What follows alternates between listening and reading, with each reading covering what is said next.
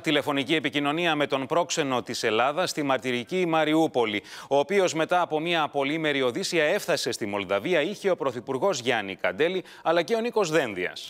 Καλό μεσημέρι, Μάρκο. Μετά από τέσσερις μέρες ενός πολύ δύσκολου ταξιδιού από την Μαριούπολη, πέρασε στην Μολδαβία και σήμερα βρίσκεται ο Έλληνας πρόξενος, ο κύριος Ανδρουλάκης, στο Βουκουρέστι. Συνομίλησε με τον Πρωθυπουργό, με, την, ε, με τον κύριο Μητσοτάκη, να αναφέρει πως του έδωσε συγχαρητήρια για την στάση του, για το θάρρος του, αλλά και τον δημόσιο λόγο του αυτές τις ημέρες, προαναγγέλλοντας ότι τις επόμενες ημέρες θα υπάρξει και συνάντηση των δύο. Πρέπει να σου πω ότι επιστρέφει από το Βουκουρέστι αύριο στην χώρα μας ο κύριος ε, Ανδρουλάκης. Επικοινωνία μαζί του είχε και ο κύριος ε, Δένδιας, ο οποίος μάλιστα αναφέρθηκε στο γεγονός μετά την συνάντηση που είχε με τον Γενικό Γραμματέα των Ηνωμένων Εθνών, τον κύριο Γκουτιέρες, στη Νέα Υόρκη.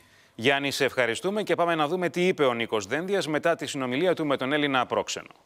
Αμέσως μετά την έξοδό μου από το γραφείο του Γενικού Γραμματέα, είχα την ευκαιρία να μιλήσω και να υποδεχτώ σε ευρωπαϊκό έδαφος τον πρόξενό μας στη Μαριούπολη, τον κύριο Μανώλη Ανδρουλάκη να τον ευχαριστήσω θερμά για τις υπηρεσίες του, για τις θυσίες τις οποίες υπέβαλε τον εαυτό του στην προσπάθεια να προστατεύσει την ελληνική ομογένεια. Θα χαρώ πολύ να τον δω μόλις γυρίσω στην Αθήνα, αλλά του είπα αυτό που είπα και στη Βουλή των Ελλήνων, ότι είμαστε ιδιαίτερα περήφανοι γι' αυτό.